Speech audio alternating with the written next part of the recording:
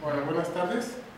Estamos aquí para el examen de grado de maestría de Rafael Morales Contreras, eh, cuyo título de tesis es Implementación y Evaluación de Flipped Classroom para el aprendizaje de conceptos de electricidad con estudiantes de nivel bachillerato. Estamos aquí los sinodales, el doctor Mario Humberto Ramírez Díaz, el doctor Rubén Sánchez Sánchez, el doctor César y el doctor Daniel, que son los directores de tesis, y un servidor, el doctor Ricardo García, que es parte del sínodo. Eh, la mecánica es la siguiente, te vamos a dar a ti aproximadamente entre 30 y 40 minutos para que nos expliques el trabajo de investigación que desarrollaste. Posteriormente eh, pasaremos a un periodo de preguntas y respuestas de parte de todos los sinodales y los directores de tesis. Y finalmente eh, te pediremos que salgas para deliberar y darte el veredicto posteriormente. Por favor, entonces tienes todo el tiempo. Bueno, 30 minutos. Sí, gracias. Buenas tardes. Pues eh, efectivamente eh, me presento el día de hoy para explicar y dar a, conocer el trabajo de investigación que desarrollé durante estos eh, dos años, dos años y medio de trabajo de maestría eh, el título, lo repito, implementación y evaluación de Flip Classroom para el aprendizaje de conceptos de electricidad con estudiantes de nivel bachillerato. Primero, con un resumen, eh, comentar el aprendizaje de la física, particularmente en el nivel bachillerato, presenta altos índices de reprobación. Eso es bien sabido, bien conocido. Y en un intento de mejorar eh, esos índices, se hace una propuesta metodológica denominada Flip Classroom, misma que se implementa con dos grupos de estudiantes de la asignatura de Física 3. Física 3 es esencialmente el estudio de electricidad en una de las escuelas de bachillerato del Instituto Politécnico Nacional, el Centro de Estudios Científicos y Tecnológicos número 7, Cuauhtémoc, donde laboro la implementación y evaluación de esta metodología educativa se realizó durante todo un semestre. Esa es una parte esencial que posteriormente voy a, comentar. Al medir la ganancia conceptual mediante el factor de Hey, se obtuvieron valores de hasta 0.9, lo cual se considera una ganancia conceptual alta. Propuestas existentes, bueno, eh, existen metodologías eh, como por ejemplo el aprendizaje por descubrimiento, el aprendizaje basado en problemas o ABP, el cambio conceptual o la investigación dirigida, como muestran Canario y Moya, 1999, o el aprendizaje activo de la física, descrito claramente por Meltzer y, Thornton, 2012. Eh, esta propuesta, Flipped Classroom, o también bueno, conocida como aula invertida, la expone, eh, digamos, en sus ventajas por el SOLA 2014, dice, expone las ventajas de implementar esta metodología educativa, la cual se basa en la inversión de la estructura tradicional de la clase presencial expositiva a través del empleo de tecnologías de la información y la comunicación. Eh, básicamente, me gustaría comentar a qué se le llama esa inversión de la estructura tradicional. Pues eh, básicamente tratar de resolver, hacer eh, el trabajo que normalmente se le deja a los alumnos como tarea y que ellos casi siempre consideran como lo más complicado, los ejercicios más difíciles, ahora eh, hacerlos en, clase con el apoyo del profesor y eh, las cuestiones más sencillas como el, el aprender alguna definición, eh, pues se deja para casa para que ellos lo puedan realizar. Ahorita comento más esta parte. El objetivo general, implementar la metodología educativa Classroom para evaluar la ganancia conceptual al estudiar conceptos de electricidad con estudiantes de nivel bachillerato del Instituto Politécnico Nacional, empleando técnicas como factor de Hake, el factor de concentración y diferencial semántico. Objetivos específicos, seleccionar contenidos del curso en línea para facilitar la realización de las tareas extra clase mediante una navegación fluida, aplicar las pruebas eh, de test y post-test para recolectar datos haciendo uso de la evaluación en línea y analizar los datos obtenidos con el fin de evaluar la ganancia conceptual mediante factor de Hey, concentración y diferencial semántico. Línea de investigación. El presente trabajo se enmarca en la línea de investigación e innovación educativa. Dentro de la línea de generación y aplicación de conocimiento didáctica de la física, promovida por el Centro de Investigación en Ciencia Aplicada y Tecnología Avanzada, CICATA Unidad Legal, perteneciente al IPN y su programa de posgrado. Pregunta de investigación. Número uno, ¿en qué medida los alumnos del CECIP UTEMO del Instituto Politécnico Nacional pueden mejorar el aprendizaje de conceptos de electricidad empleando la metodología educativa Flipped Classroom, de acuerdo con el factor de Hake. Número dos, ¿qué nivel de satisfacción produce en los alumnos el trabajar con un curso en línea diseñado específicamente para apoyar la metodología de acuerdo con un diferencial semántico? Hipótesis de investigación. Los resultados obtenidos mediante el factor de Hake permiten corroborar un incremento en la ganancia conceptual al estudiar conceptos de electricidad en el nivel de bachillerato del IPN mediante el empleo de Flipped Classroom.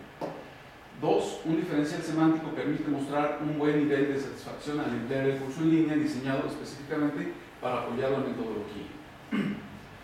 Marco teórico, en el ámbito de la educación, cada propuesta metodológica se puede aproximar como una variante en el nivel de acción de los tres elementos inherentes a un proceso de enseñanza-aprendizaje, a saber, el alumno, el profesor y los recursos. Puntualiza García, 2001. Tenemos en este marco pues, lo que son las TIC, las, tecnologías de la información y la comunicación.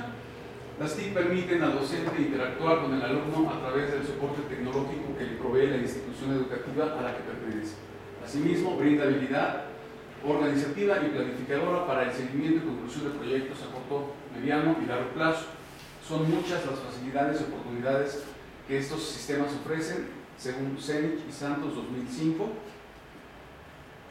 E-Learning, como indica Cabero 2006, se define el e-learning como el proceso de formación a distancia cuya base es el uso de las tecnologías de la información y la comunicación, fundamentalmente apoyado en Internet para ofrecer un aprendizaje flexible y accesible a cualquier receptor potencial. Blended Learning, también conocido como aprendizaje mixto, tiene su origen en el ideal empresarial de, disminuir el costo de la educación presencial, el cual es sumamente elevado por las remuneraciones de todo el personal que este sistema implica. Mezcla las técnicas presenciales con las no presenciales, Bartolomé 2004, Flip Classroom. Román 2013 destaca que Flip Classroom es una modalidad de blended learning que se apoya en el gran potencial que, tiene, que tienen las TIC al transferir las actividades que involucran objetivos de aprendizaje de bajo nivel fuera del aula, mientras que las actividades que involucran procesos cognitivos de mayor complejidad que, eh, que, favorecen el aprendizaje significativo se realizan en el aula con el, con el asesoramiento del profesor. Curso en línea. Al diseñar un curso en línea, una de las etapas más importantes es la del diseño de la interfaz, pues de ellas depende en gran medida su éxito. La interfaz es el puente entre el usuario final, el estudiante, y lo que se pretende que aprenda. McAnally y Pérez 2000. El otro aspecto esencial es el contenido del curso en línea, el cual debe apoyar las actividades extraclase de la metodología educativa Flex Classroom. Ok, antes de pasar aquí a lo del factor de G, entonces eh, todo este, este marco teórico a, lo que nos lleva es a que tenemos eh, eh, lo que se conoce como educación mixta, es decir, parte presencial y parte en línea, hace uso de las tecnologías de la información, ¿ok? Y todo esto se toma en, o lo recupera la modalidad llamada eh, Flipped Classroom para poder transferir esos conocimientos eh, de bajo eh, nivel cognitivo fuera del aula, o sea, llevarlos a los alumnos a que trabajen en casa, a que, a que revisen algún video, a que trabajen con alguna animación eh, o, que, trabajen con algún simulador en casa. Y los eh, problemas, los ejercicios, las dudas, eh, el análisis cualitativo que se debe de hacer de algún problema, ese lo trabajamos en clase. Entonces, esa es la gran bondad que, yo encontré con esta metodología. Mm, libera mucho tiempo ¿sí? de el trabajo que uno tiene que realizar como docente en el aula, libera mucho tiempo y nos permite darle un, eh, digamos, un servicio educativo más a modo y más personalizado a los alumnos, precisamente porque ya se transfirió parte del trabajo para que ellos lo realizaran en casa. No es fácil eh, aplicarlo. Al principio eh, los alumnos se muestran muy renuentes, eh, simplemente porque están acostumbrados a que el profesor llega y empieza a dar las explicaciones, las definiciones, y empieza a resolver ejercicios y ya les deja de tarea ¿no? el resto de los ejercicios. Entonces, empezar la primera clase dándoles como tarea revisar un video, que lleguen y que lo tengan que comentar, que se, que se empiecen a abrir, hacer una lluvia de ideas. Eh, mm, al principio no les, no les agrada, no, no les gusta mucho, pero poco a poco, o sea, con el paso del tiempo, y esto fue importante en el desarrollo de todo un semestre de estar aplicando la metodología, se va cambiando eh, la forma de ver y de pensar de los alumnos y les va agradando. O sea, les gusta llegar ya con alguna duda, les gusta llegar y preguntar y no nada más tener que escuchar lo que el profesor les tiene que ofrecer, que decir. Esa es eh, esa gran bondad de, de esta metodología. Eh, decía que es importante realizarlo durante todo un semestre. Por ahí una, había una referencia en donde se indica, y más adelante también, que una de las eh, propuestas es que si algún profesor quiere trabajar, quiere implementar esta metodología en su clase, pues que lo haga durante todo el semestre o durante todo el año, no solo trabajarlo con una secuencia didáctica, ¿no?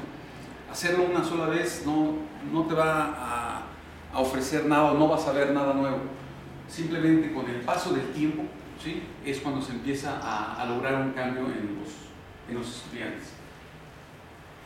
Bueno, para el análisis de los resultados, el poder observar si hay una ganancia conceptual, es decir, si, si aprenden más, ¿no? o sea, si, si los conceptos se le quedan mejor grabados a los estudiantes, eh, se utilizaron, bueno, se utilizó eh, este llamado factor de Hake. Eh, dice Hake, 1998, muestra que se puede llevar a cabo un análisis consistente en diversas poblaciones de estudiantes de nivel bachillerato y universitario, midiendo la efectividad promedio que tiene un curso eh, para presentar el aprendizaje conceptual en los alumnos. Esto se puede hacer determinando el factor de G, que es esta, esa letra G que aparece ahí, ¿okay? Y eh, es simplemente hacer un cociente eh, entre el promedio que se tiene al final menos el que se tiene eh, al inicio entre lo que es el 100% menos el porcentaje de, digamos, del score o de, de, de la calificación que tienen al inicio ¿no? como grupo. Entonces ahí dice el porcentaje es este representa el promedio del grupo al final del curso, el porcentaje S es un índice I, representa el promedio del grupo al inicio, antes del curso. La efectividad promedio se considera alta si el factor de G, o sea, esa G, resulta mayor o igual a 0.7. Media si es, mayor eh, o igual a 0.3 y menor que 0.7. Y baja cuando es menor de, 0.3. O sea, al hacer esos cocientes, esas diferencias, pues obtenemos un número y ese número mide eh, esa la, efectividad del curso, lo que se llama la ganancia conceptual. Después eh, se utilizaron una serie de tests para el pretest y el posttest para poder hacer la medición de la ganancia conceptual y se utilizó el llamado factor de concentración que lo que hace es eh, indicarnos qué tan bueno es, digamos, un, eh, test eh, en función de, digamos, si los alumnos tienen una alta calificación y una alta concentración en alguna respuesta del test. Es decir, que la mayoría de los alumnos contestan bien determinada respuesta. Entonces, eso es lo que nos ayuda a determinar este factor de concentración. Dice, es un parámetro simple que da información sobre la distribución de las respuestas, llamado factor de concentración, C mayúscula, que será función de las respuestas de los estudiantes en un intervalo de 0 a 1. O está normalizado, ¿sí? Valores más altos indican respuestas más concentradas. Entre más se pega ese valor a 1, quiere decir que la mayoría de los alumnos contestó bien determinada respuesta. La fórmula, bueno, el modelo eh, matemático que se emplea es ese, en donde m es el número de opciones de cada reactivo de la prueba, NI es el número total de alumnos que seleccionó la opción I como respuesta correcta y N mayúscula es el número total de alumnos de acuerdo eh, con Bao y Reddish 2001. Se aplicó, repito, para eh, tratar de determinar qué tan bueno había sido el test que se utilizó para hacer la prueba de factor de Hake. Por último tenemos eh, diferencial semántico que se utilizó eh, para medir, ¿sí? tratar de, tener una medición de qué tan bueno fue el uso de un curso en línea diseñado específicamente para la metodología Flipped Classroom. Entonces dice, de acuerdo con Oswood, 1952, un diferencial semántico es una prueba psicológica que se ha empleado ampliamente en diversos sectores para medir el nivel de satisfacción de un usuario de algún servicio o de un cliente de algún producto. En el ámbito educativo, que es el que nos compete, dice, posibilita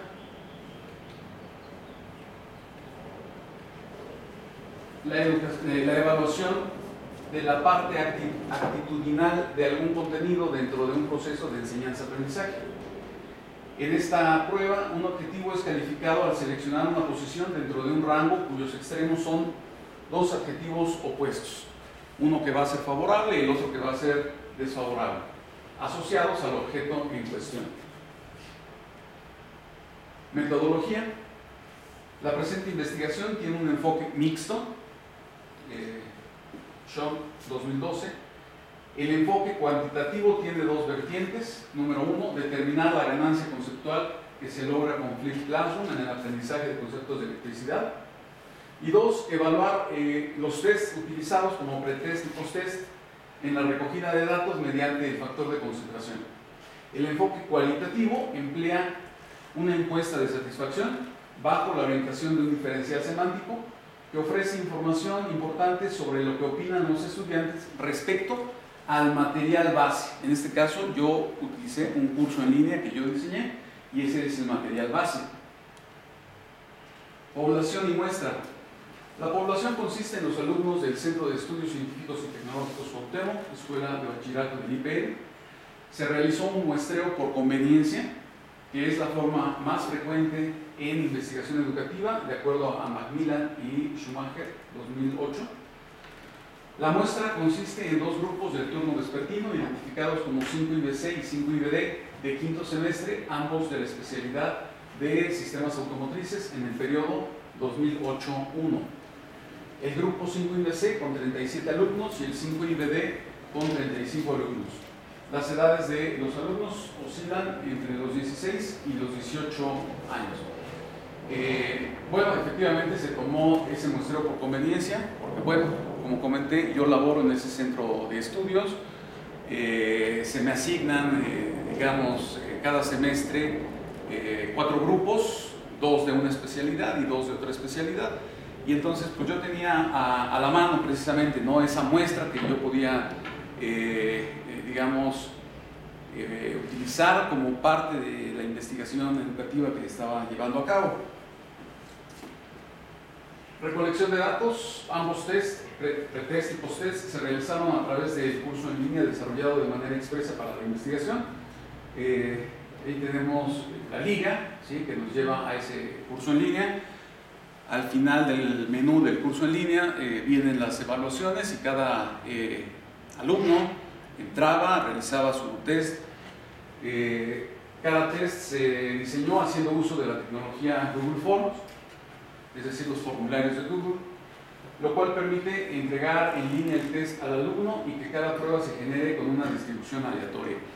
El alumno entra, tiene que entrar con su correo eh, electrónico de Gmail, que bueno, fue previamente eh, presentado al profesor, registrado, eh, tiene que entrar, el mismo sistema de Google Forms impide que él vuelva a ingresar al formulario para hacer correcciones, para hacer modificaciones.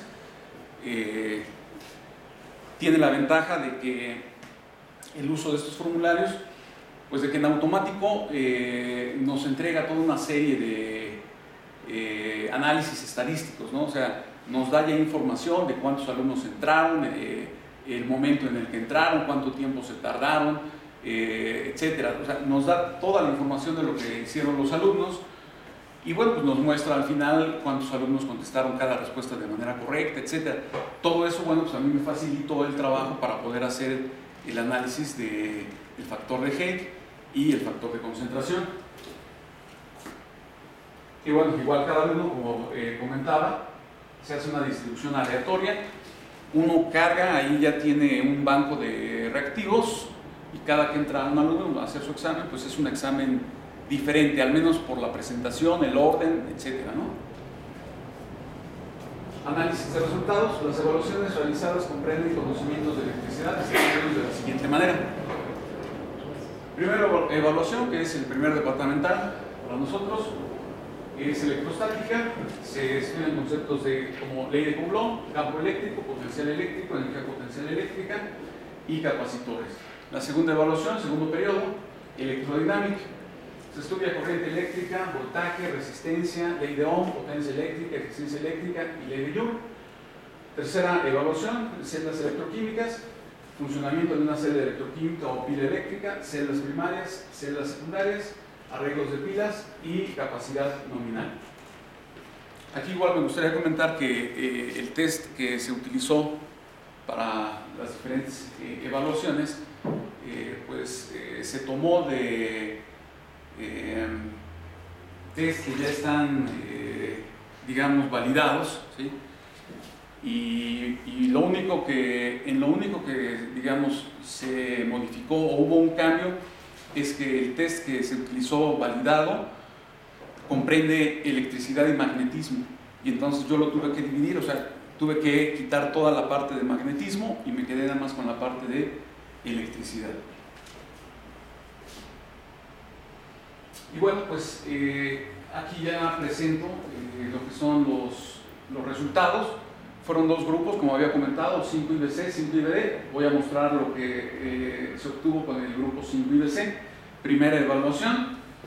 Lado izquierdo, pretest, lado derecho, post-test. Entonces, si podemos observar, tenemos un promedio de calificación del grupo de 44.3% en el pretest.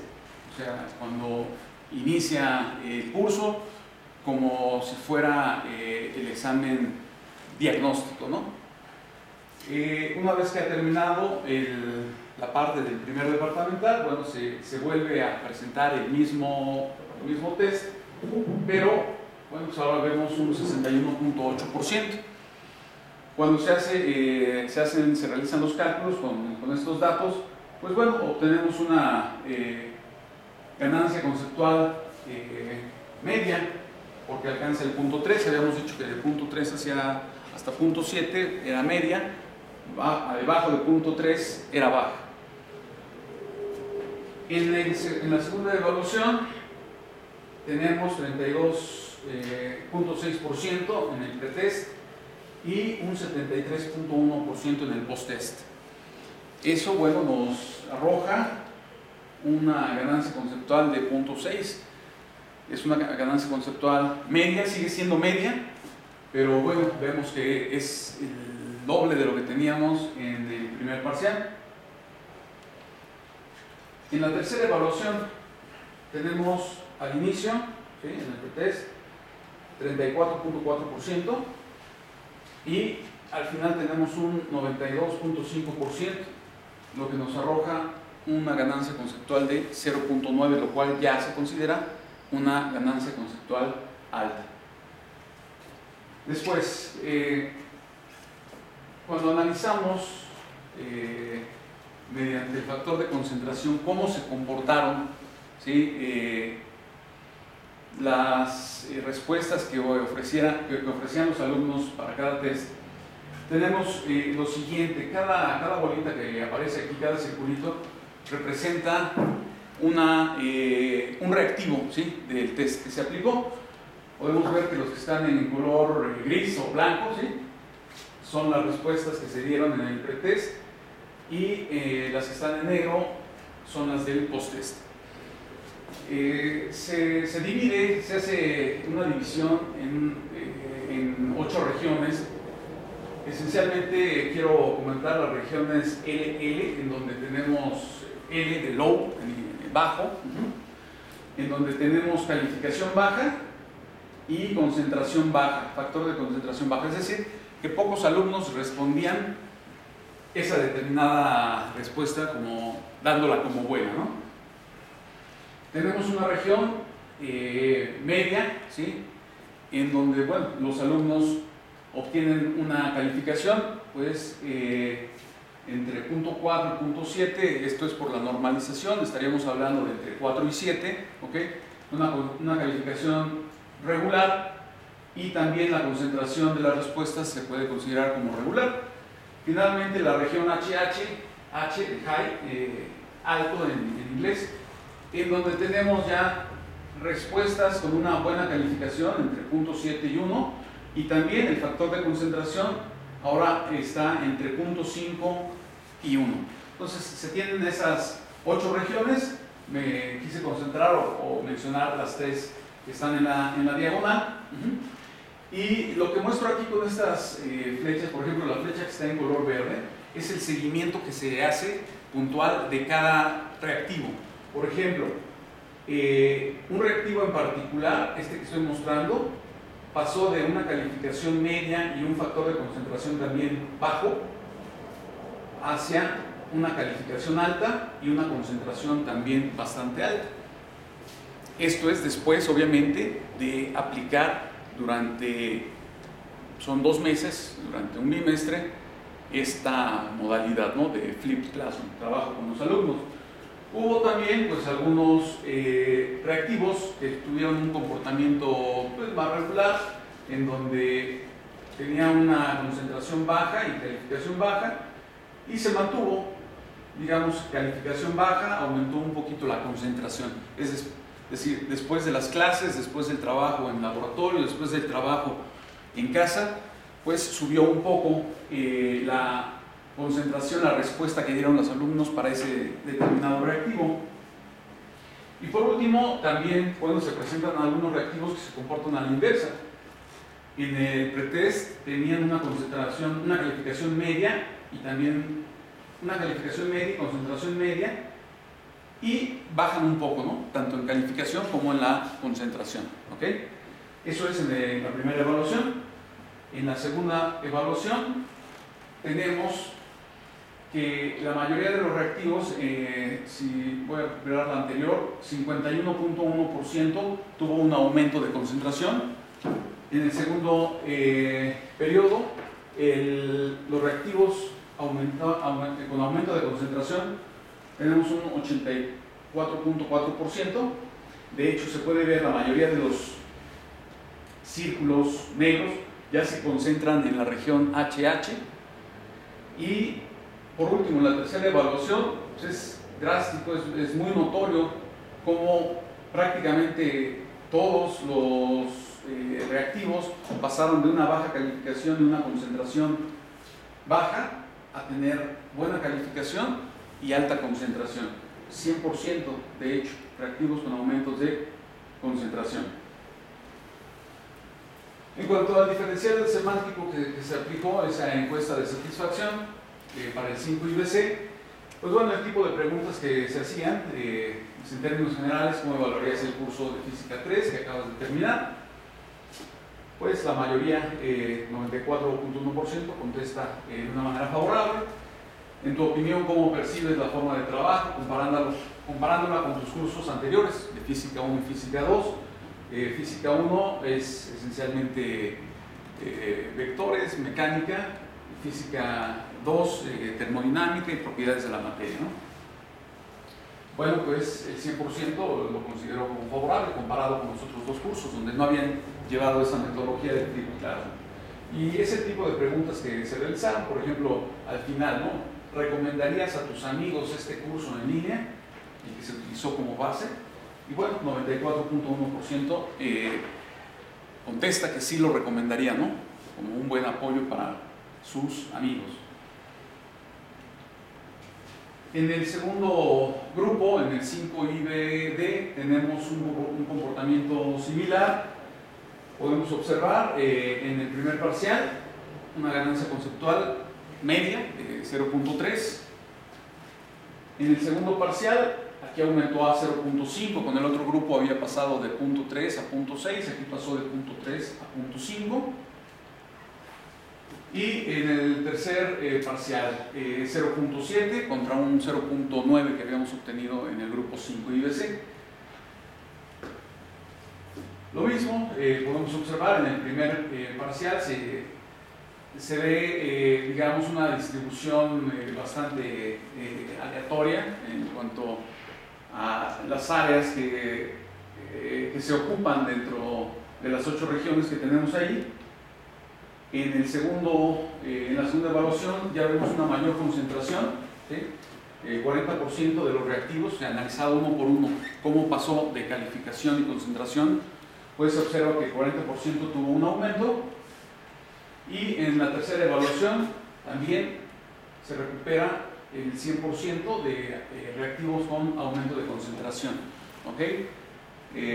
bueno, esa parte, un tanto cuanto, se puede explicar porque la parte de celdas electroquímicas es algo que los chicos normalmente no habían visto, nunca habían visto ni en secundaria, eran temas totalmente nuevos y entonces cuando entraron a, la evaluación diagnóstica, pues realmente no conocían absolutamente nada del tema. Y ya una vez estudiado, pues era muy fácil eh, poder identificar cuando una celda era, bueno, si era primaria o secundaria en términos de si era recargable o no lo era, etcétera, ¿no? Bueno, el diferencial semántico aplicado al 5IBD, pues igual eh, eh, podemos observar un poco más bajo en cuanto a los porcentajes eh, favorables, pero pues todos ellos por arriba de, de tres cuartos, ¿no? De, del 75%. Conclusiones.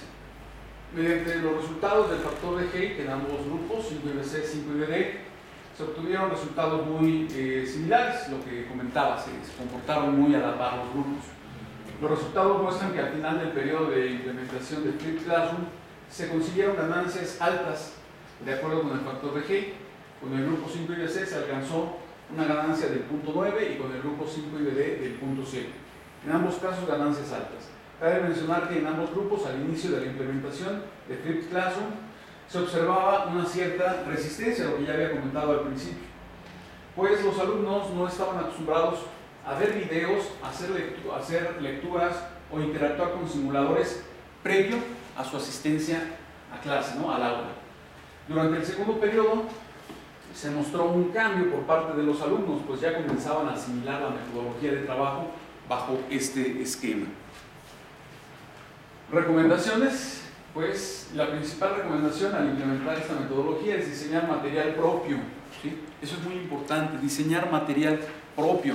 O si se va a utilizar material de alguien más, eh, pues saber qué, qué, te sirve de ese material y qué no, o sea, para dejarlo fuera. ¿no? Entonces, eh, es diseñar material propio con información muy sintetizada.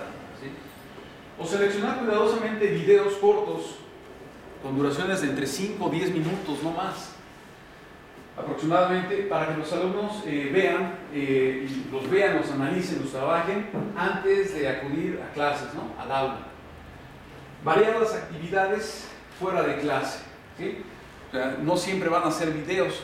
De hecho, la, esta metodología de Flip Classroom sí inició así, con puros videos, era la idea, ver un video de 5 minutos, llegar a clase y comentarlo y a partir de ahí arrancar, ¿no? Pero bueno, o sea, eh, no hay eh, una línea cerrada o clara o marcada que diga que tienen que ser videos, eso no hay.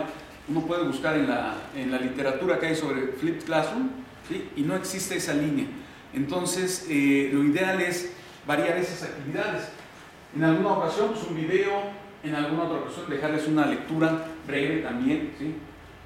Actividades específicas con simuladores, como los FED, ¿no? que podemos encontrar en internet y que pues, es algo muy visual que les ayuda mucho a entender muchos conceptos. ¿no? Experimentos caseros de bajo costo, hay muchísimos igual en, internet. Eh, uno busca eh, algún experimento, no sé, con cargas eléctricas, etcétera, y uno los encuentra ahí, ¿no? Y como repito, no, no son caros, ¿no? El llevarlos a cabo.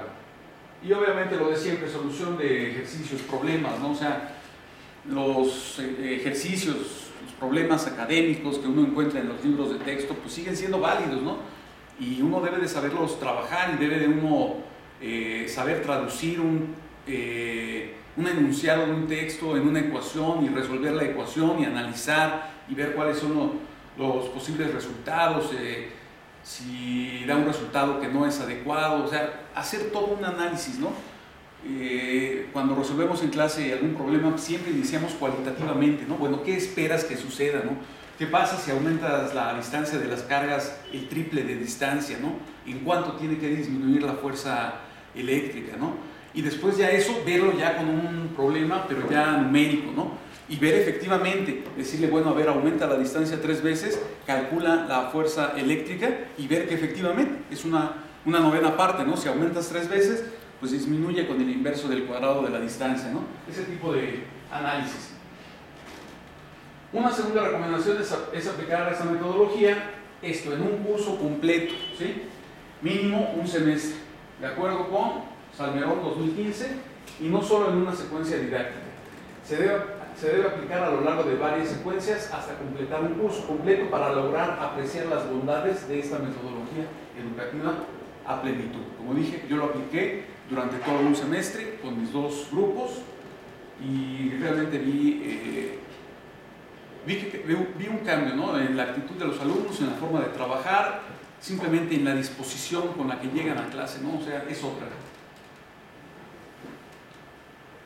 Futuras investigaciones son varias las interrogantes a indagar en una variedad de temas de la física, entre las cuales están, bueno, qué tan similares son las ganancias conceptuales al trabajar otras áreas de la física, como la mecánica, la termodinámica o la óptica, es decir, eh, poder aplicar, a mí me gustaría mucho y de hecho, bueno, eh, lo haré, ya sea bajo el esquema de una investigación, ya sea en un doctorado o, si no lo hago en doctorado, simplemente lo voy a seguir aplicando porque me dio resultados en mis otros cursos, ¿no? O sea, en física 1 lo quiero aplicar en mecánica, en física 2 propiedades de la materia y lo quiero aplicar en física 4 que es magnetismo, electromagnetismo y óptica. ¿Qué ocurre eh, con el factor de retención ¿sí? en un programa basado en el trabajo con la metodología Philip ese es otro factor que, bueno, yo no utilicé eh, en esta investigación, pero que pues, es muy eh, útil saber qué pasa, ¿no? Después de un determinado tiempo, qué tanto retiene el alumno de lo que aprendió, ¿no? O sea, es el factor de, de retención. Por último, dice, ¿cuánto mejora la ganancia conceptual en un curso de física de nivel bachillerato tomando como base un recurso didáctico diferente al curso en línea para apoyar la metodología?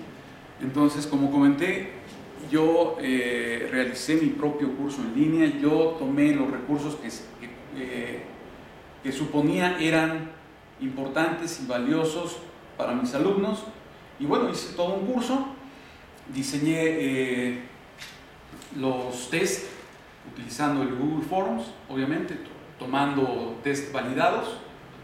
y bueno, esa, esa fue la base, o sea, todo lo que yo les dejaba que trabajaran en casa los alumnos, era material que yo diseñé. Y entonces, bueno, la idea es, también se puede uno preguntar, bueno, ¿qué pasaría si usas otro tipo de, de, recursos, ¿no? Si usas otros recursos para eh, dejarles trabajo y dejarles material a estudiar en casa a los estudiantes. Bueno, pues eh, eso es todo. Gracias por su atención. Muchas gracias.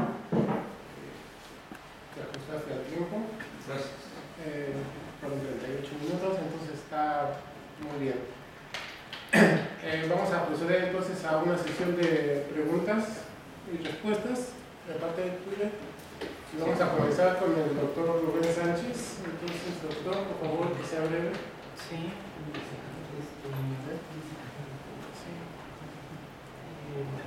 Bueno, buenas tardes. Buenas tardes. Este, bueno, quería preguntarte acerca de la manera en cómo implementaste tu metodología.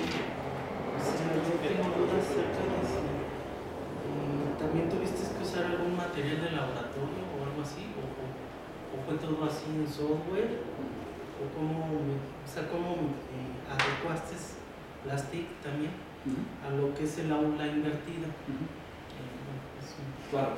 Eh, sí, eh, efectivamente. Sí, La metodología, ¿no? Para que nos precisaras Claro. las dificultades que tuviste. Sí, eh, efectivamente, eh, en, el, en el modelo eh, por competencias, que es el, el que utiliza el Politécnico, eh, pues bueno, nosotros tenemos estipulado que debemos, eh, al menos en la materia de física, debemos dar cinco horas eh, a la semana de esta materia. Dos horas son en laboratorio, ¿sí? Y tres horas son de teoría. Entonces, en el laboratorio el trabajo pues, se realizó exactamente de la misma eh, manera porque, eh, bueno, pues ahí el recurso que tenemos, el, digamos, el material o las prácticas, los manuales de prácticas, pues esos eh, están establecidos ya por la academia y no los, no los podemos nosotros variar. Lo que sí, pues es la parte de dejarles investigar, por ejemplo, un experimento, no sé, el experimento de Ørsted, ¿no? Para ver cómo una corriente eléctrica produce un campo magnético. Bueno, pues entonces lo primero, sí, se les deja, búscame un video en YouTube para que veas eh, este experimento, ¿no? Y ya ven, lo observan y ya llegan al laboratorio y ya saben incluso cómo colocar el, el alambre, porque pues el alambre lo tienen que poner, digamos, paralelo a la aguja de la brújula, que esa, bueno, adopta la, la dirección aproximadamente norte-sur geográfica, y ya ellos ya llegan y ya saben qué hacer, ¿no? Entonces, sí se aplica la misma estrategia, eh, pero en la parte de laboratorio, cuando se tienen que realizar las prácticas tal y como vienen marcadas en el manual de práctica. Eh, de las otras tres horas que debemos de dar, eh, dos horas son presenciales y la otra es una hora que llaman en otros ambientes de aprendizaje. Y precisamente ahí es en donde eh, eh, ese tiempo se utiliza, bueno, al menos nosotros lo utilizábamos para que los alumnos pudieran revisar el material, porque es una hora a la semana. Pero como yo dije, en cada recurso o cada video que yo les dejaba ver, no se utilizan más de 10 minutos. Entonces, esa hora, la hora no presencial, la hora que le llaman también virtual o en otros ambientes de aprendizaje, pues yo la distribuía en, en realidad pues en 50 minutos, o sea, 10 minutos cada, eh, cada día para dejarles una actividad que ellos pudieran realizar y ya llegaran eh, a clase pues con dudas, con preguntas, lo mismo en el laboratorio, que ya supieran más o menos qué realizar o cómo hacer un experimento, ¿no? Entonces, eh, se, se respetan las 5 horas, la modalidad que, maneja el instituto, en el programa vienen marcadas 90 horas para el programa de Física 3 y eso se tiene que cumplir pues al 100%, ¿no? Ahora otra duda que tenía era cómo, cómo implementaste el test, o sea, eh, ¿de qué test sacaste el, ahora sí que tu test? ¿De qué Ajá. test validado? Porque lo mencionaste. Tenía una pregunta que era si validaste el test, pero no, no nos dijiste que, que lo sacaste desvalidado. Ajá, Pero ¿qué, qué, qué test validados es? sí, eh, ¿Lo revolviste o qué eh, no, eh, como ¿Sacaste comenté, varios? ¿Sacaste uno? Es un... ¿Cómo lo revolviste con alguna pregunta del manual? No, lo, lo tomé, digamos, tomé la mitad de- del test que, que ya está validado. Eh, ¿Cuál es Eh, ese? sí. Deme un segundo y Ese ahorita lo... nombre. Sí. O sea, no sé si al S bien. Es el de Conceptual, eh, ¿El de soporte? el de... No, ¿Otro? Sí, está ahí en el documento, ¿no? Está en el documento, sí, nada de- es...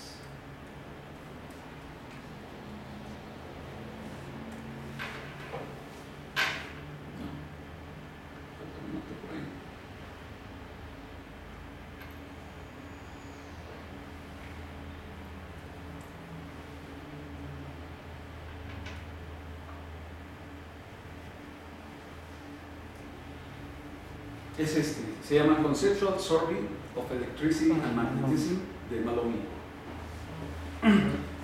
Y lo que, lo que comenté es que ese test tiene la parte de electricidad y la de magnetismo, pero el curso de física 3, que fue el que yo eh, impartí en ese semestre, solamente es de electricidad. Entonces lo que hice fue todas las preguntas de magnetismo las dejé fuera y me quedé con la- las de electricidad. ¿Es de opción múltiple?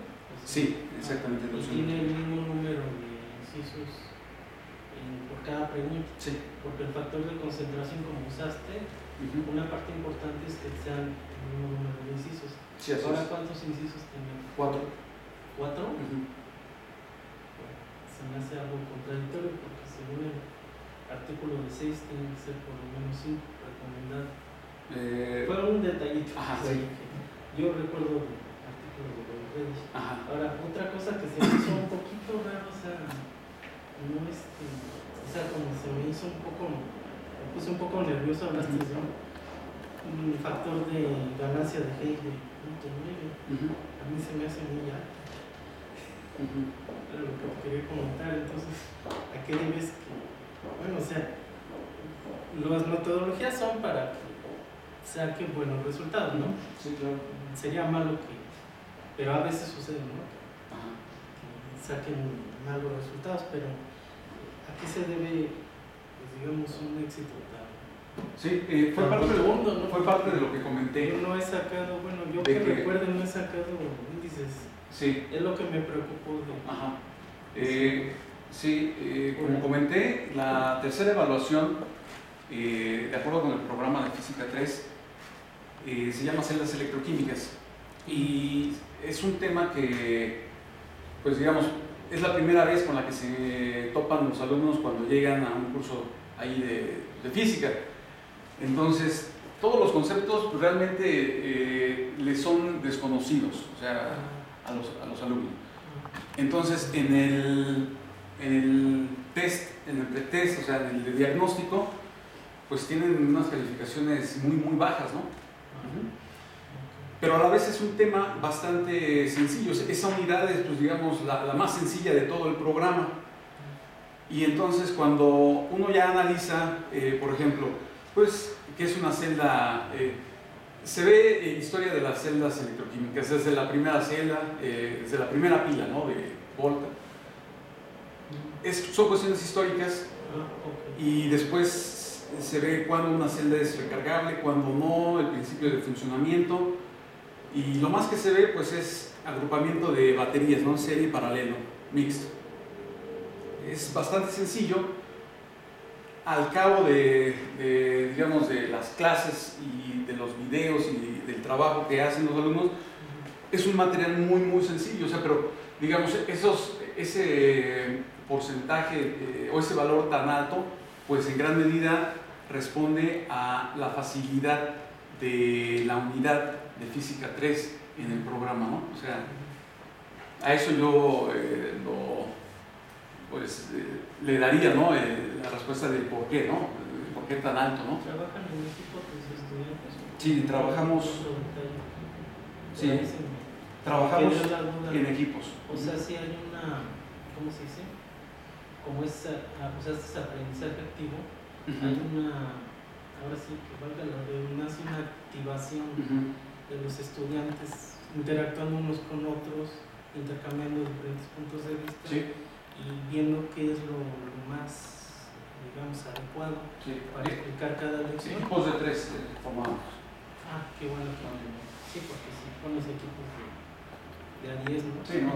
Exagerando, exagerando, ¿no? Pues no, no, no funcionaría. Claro. Ok, entonces de 3 a 4 está bien. Bueno, pues sería todo por mi parte. Muchas gracias. No, gracias. Doctor favor. Importante que salga a hacer eso. Sí. Bien. Bien, Rafa, pues primero felicitarte porque Gracias. nos vas a ayudar en los números. Es muy importante. Primero te voy a hacer algunos comentarios que algunos van a parecer triviales, pero los colegas me dan la razón que han, que han surgido. El primero, fíjate que surgió incluso cuando solicitamos tu examen en pleno colegio. A mí me parece una pregunta muy, muy bomba, pero sí me gustaría saber tu opinión. Fíjate que cuando propusimos tu examen, vi el título, no sé si recuerdo que alguien preguntó, ¿y por qué en inglés? ¿Por qué Flipped Classroom? ¿Y por qué no aula invertida? A mí me parece algo medio intrascendente, pero sí lo preguntaron, ¿no? Entonces, a ver, te traslado esa pregunta. ¿Por qué no lo he puesto como aula invertida? Y sí como. Sí. Eh, yo esencialmente, bueno, también en, algún momento me hice esa pregunta y dije, bueno, ¿cómo lo manejo? Porque en de Monterrey sí lo manejan como aula invertida, por Ajá, ejemplo, sí. directamente. Y, y bueno, Sí, sí, sí. sí. y, y bueno, tomé la, la, decisión porque, para empezar, el, el, material que yo podía encontrar y podía recuperar y que, y que yo sentía, pues, eh, digamos, que mejor explicaba lo que era la, esta modalidad educativa, pues es, es, en inglés, ¿no? O sea, es como cuando busca uno cualquier cosa en Google, o sea, lo pones en español, sí vas a obtener algunas respuestas, pero ponlo en inglés y obtienes 10 veces más respuestas y muchas veces de mejor calidad. Eh, y pues bueno, eh, es algo que, que, está en nuestra sociedad y, a lo que también nos tenemos que acostumbrar, porque pues igual eh, normalmente hablamos del Wi-Fi, ¿no? Y es como, ¿cómo me conecto a tu Wi-Fi? Y no dices a, a tu red inalámbrica, ¿no? O sea, como que hasta suena raro, ¿no? Si, si, si, preguntas por la red inalámbrica y lo preguntas como Wi-Fi, ¿no? O, o preguntas y pides, oye, préstame una laptop, ¿no? Eh, o nada, o sea, tenemos que irnos eh, acostumbrando.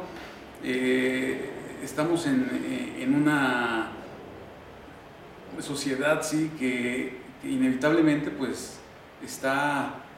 Eh, sí, ¿no? Eh, globalizada y que requiere que, que, todos sepamos y nos acostumbremos pues incluso a, a, a, a esos términos, ¿no? Eh, en inglés, eh, porque, porque se usan mucho, porque, y como yo dije, yo tomé la decisión de mantenerlo así, porque la información de buena calidad que yo sentí que obtenía, pues era bajo, buscándolo bajo ese esquema, ¿no? O sea, buscando artículos como Flip Classroom, etcétera, y, y sí hay como aula invertida, pero simplemente no me gustaba, ¿no?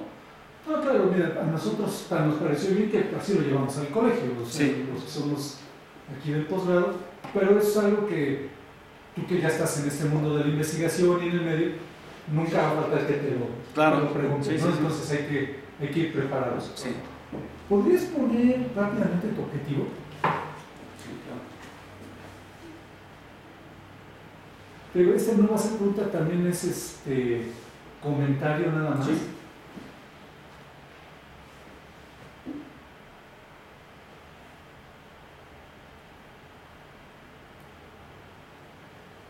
¿Objetivo general? Ah, exactamente ese. Sí. Fíjate que tu primer verbo es implementar. Y claro, lo implementaste, pero creo que tu objetivo fue más allá. Uh -huh.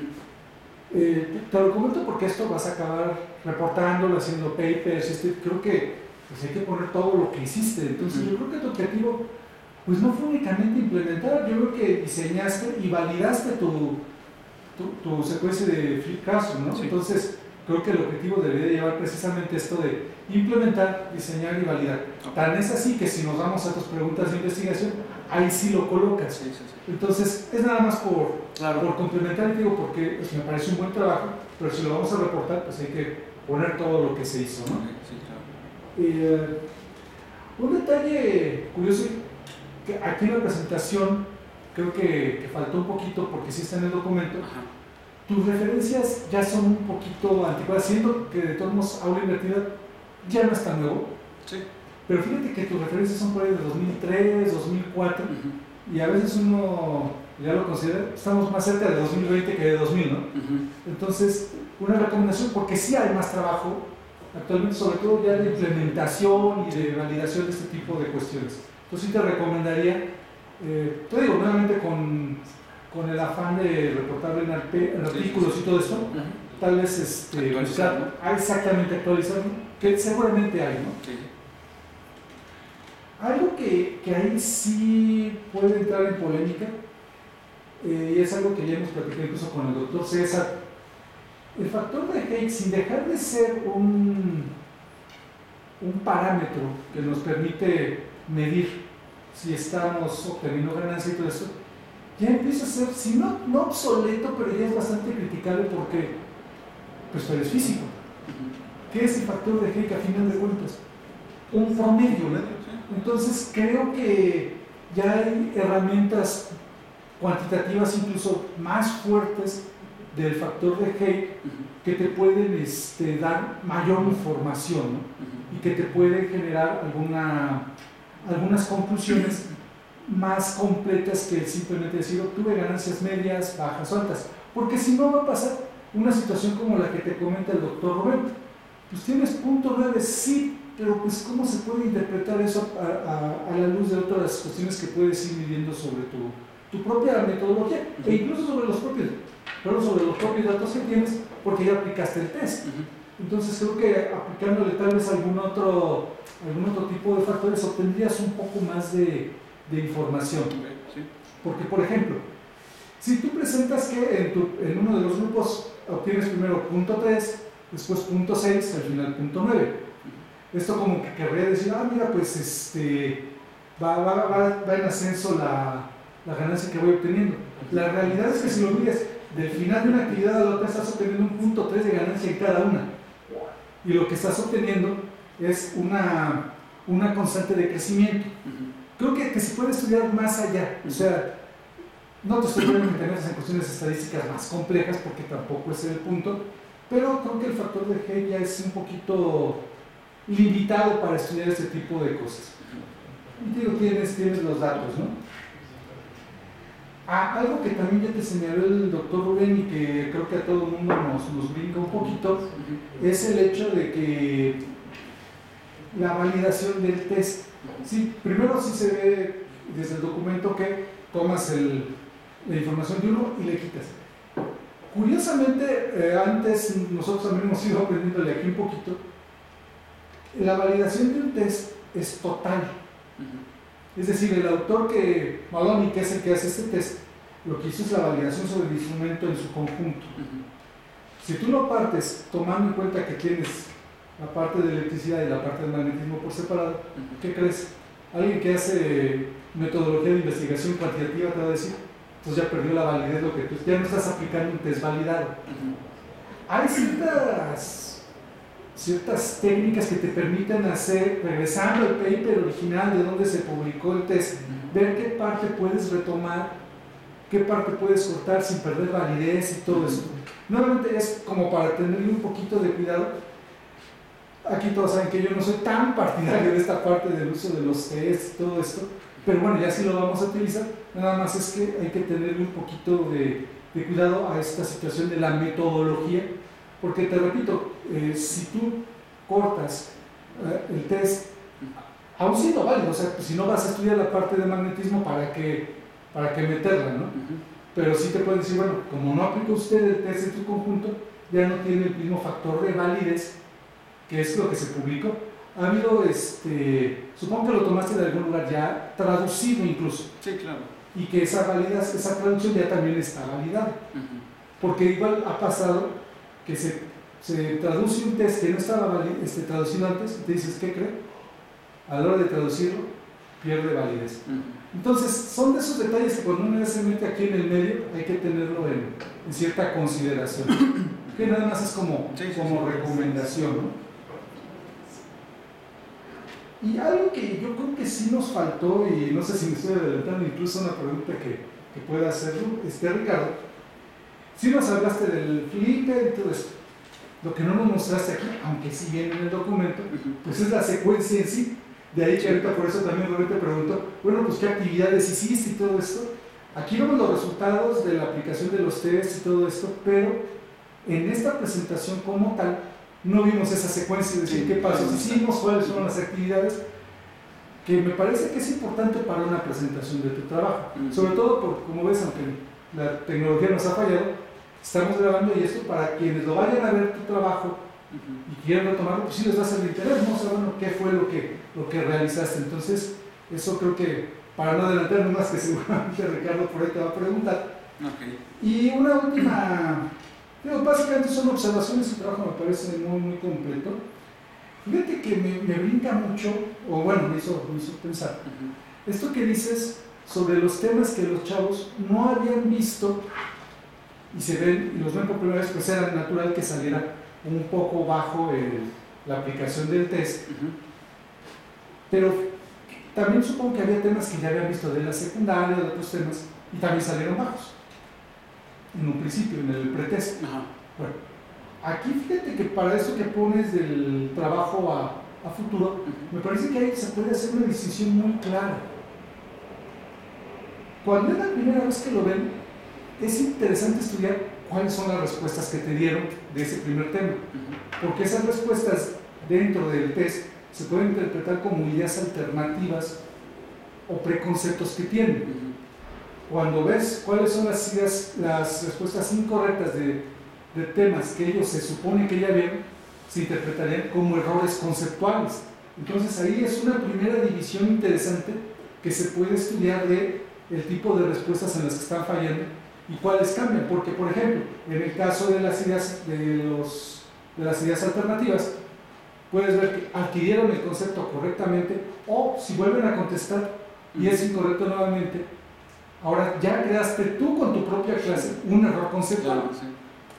En otros, este, en- en- otros colegas suyos, con otros compañeros que ya han presentado aquí, hemos visto incluso ganancias negativas en algunos ítems. No sé si pasó en tu caso en alguno. Sí, sí, claro. Ah, porque eso es bien interesante, porque entonces ahí qué pasó. Sí. Si tienes una ganancia negativa, puede ser que creaste un error conceptual, incluso. Y eso, nuevamente, como trabajo futuro, pues es, es interesante. O sea, a pesar de que ya pues, hay mucho, mucho en el mercado, por llamarle de alguna manera, pero es, sería interesante verlo por ahí. ¿no? Y te digo, tu trabajo, pues, va mucho, da para mucho más, porque, bueno, con eso de las nuevas metodologías, hablas 4.0, pues este tipo de, de metodologías pues son lo que va a ir a, aunque te repito, no son nuevas, sí, se, sí son lo que van a ir a la moda, ¿no? Para poder aplicar tecnología y todo eso.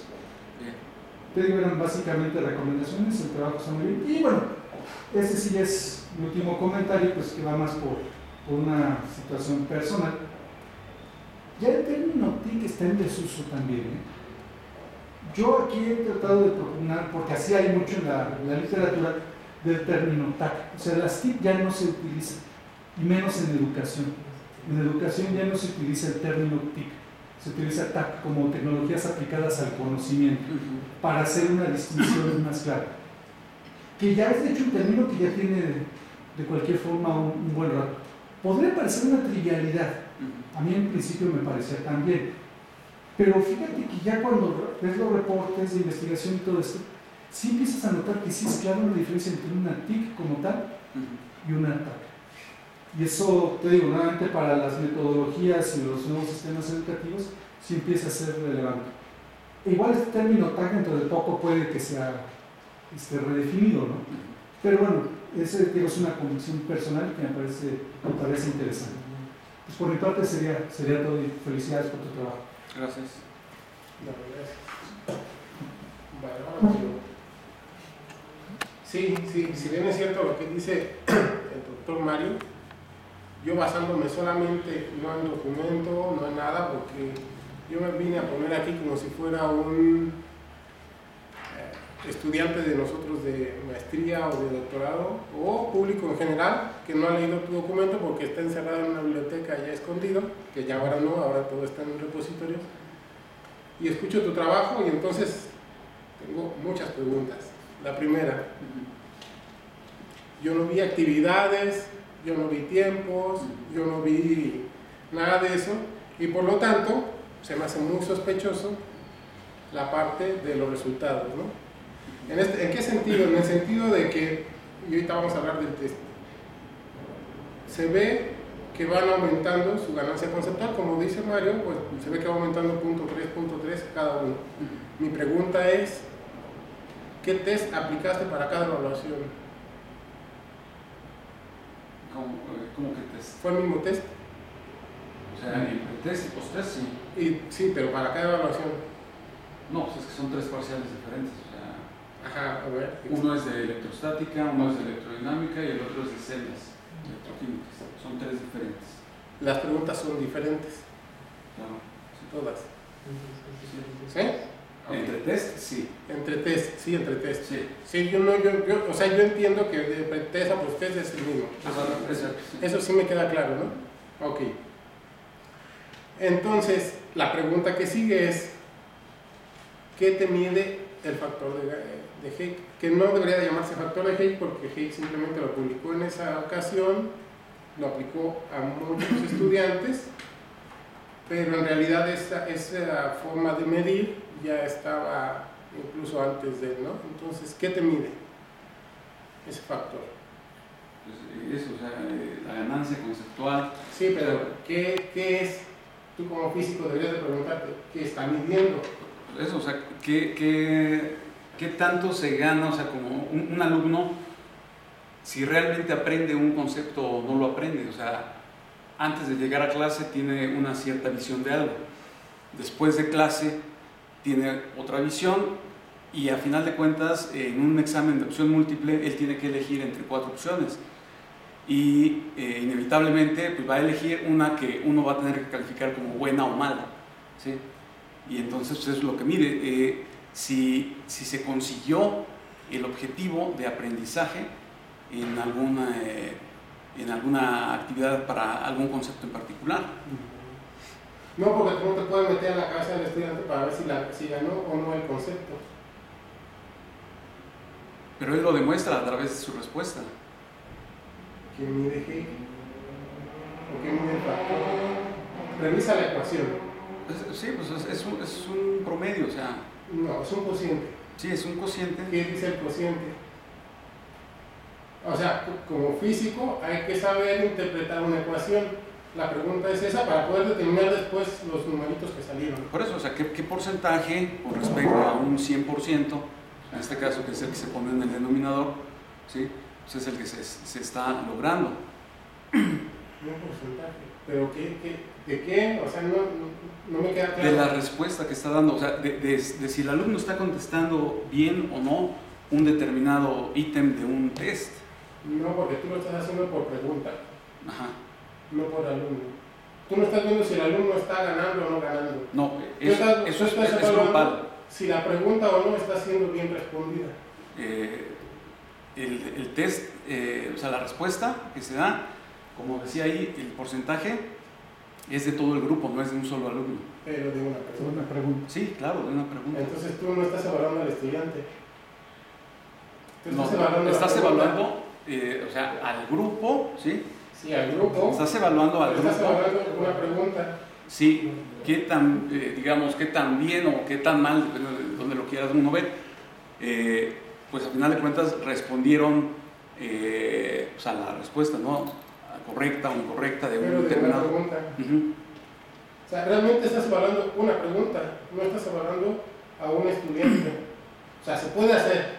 Ujú. Simplemente en tu tabla de Excel, en lugar de, de calcular los promedios hacia abajo, los calculas en promedio a los estudiantes.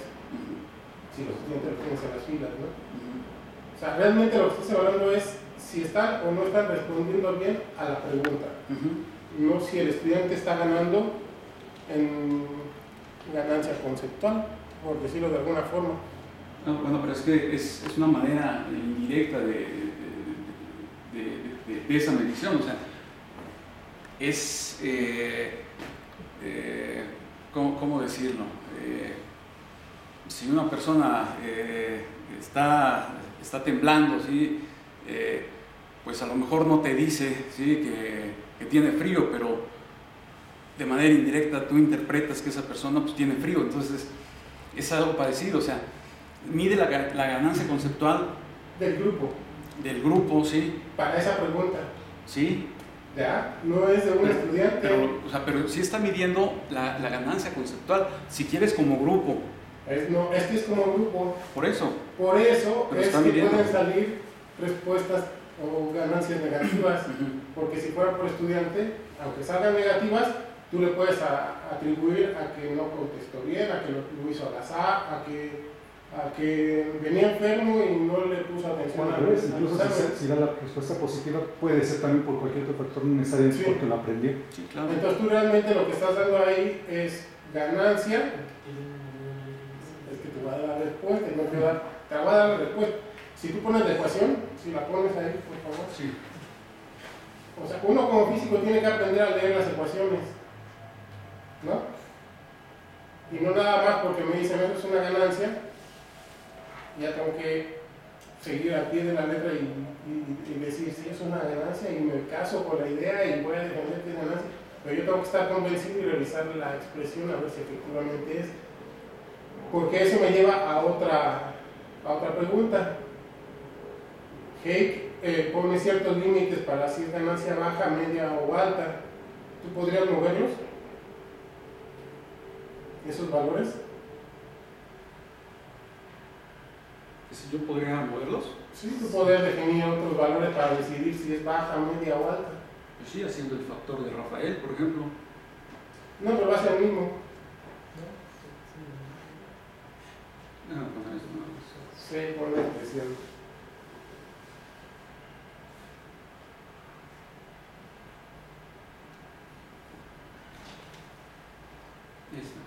Sí, lo, lo, lo quiero, lo quiero, quisiera que quedara claro para ver qué es lo que está pasando con el número, porque al, final es parte de lo que tú estás eh, tratando de, de evaluar de tu, de tu estrategia, ¿no?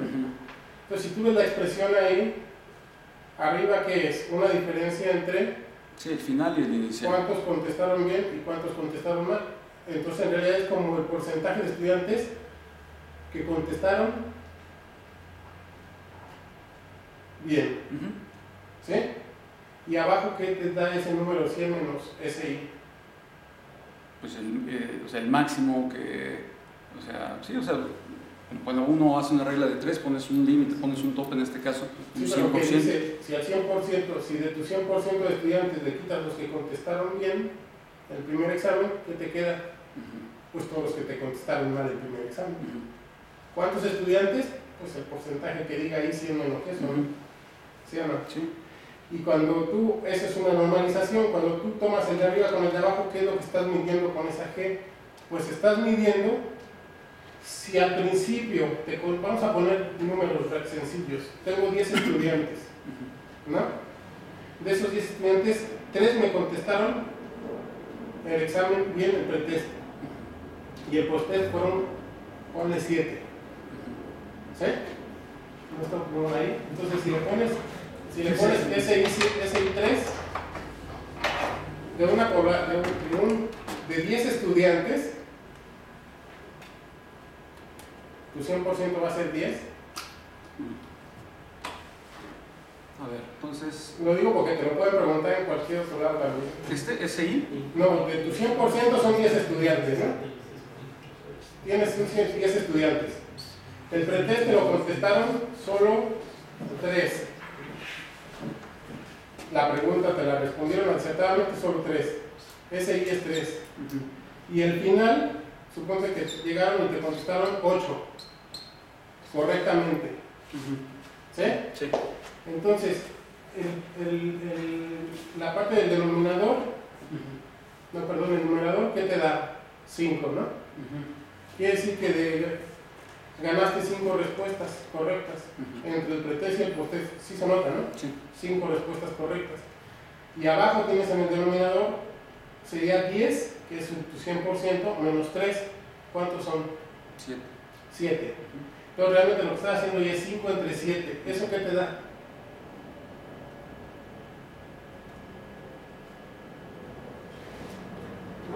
Eso te da que de los 7 que no te contestaron al principio bien, porque solo te contestaron 3, ujú, de esos 7, ¿de acuerdo? Tú ganaste 5 para contestar el, el, post-test.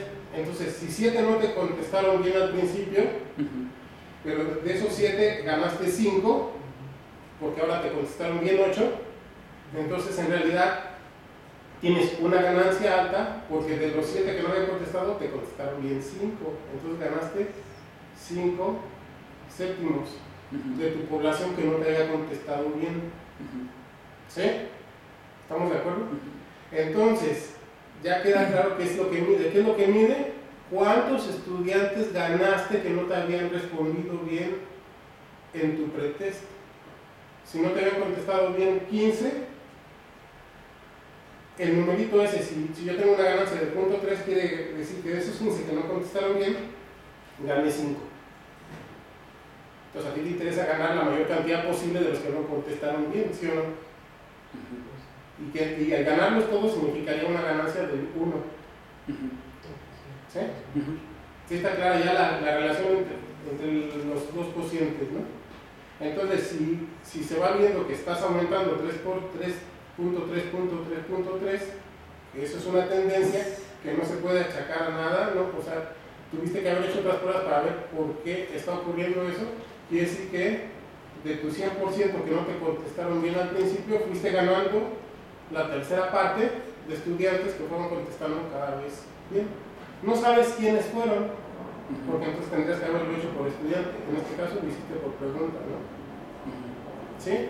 Sí, eh, ahí eh, yo sigo con lo mismo, o sea, en todo momento dijiste qué es lo que, qué es lo que obtuviste, cuántos alumnos ganaste, pues eso es una ganancia, o sea, por eso, por eso se llama ganancia, o sea, no, puedo quitarle te- el término de ganancia. Yo lo primero que te pregunté fue qué mide ese G.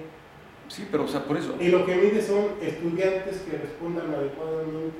ajá, Eso es lo que mide. y alguien, y, y alguien definió eso como ganancia conceptual, o sea, eso no, no- no podemos decir que no.